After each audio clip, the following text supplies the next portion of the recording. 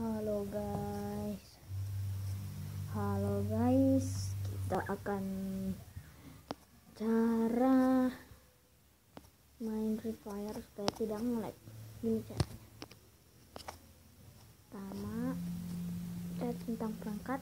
Saya Ya ya ya Channel versi pencet Ya habis itu Cari pilihan pengembang cari di sini ini sama setel 0,5 ya. 0,5 0,5 nah. Baru nanti cari cari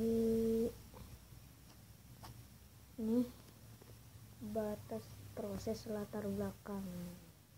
Ya sini cari di sini hmm.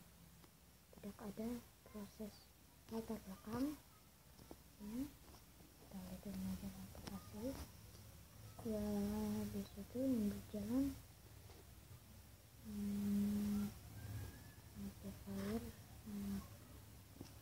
ini untuk rekam ini ya lalu ini tak terbuka hmm di ini,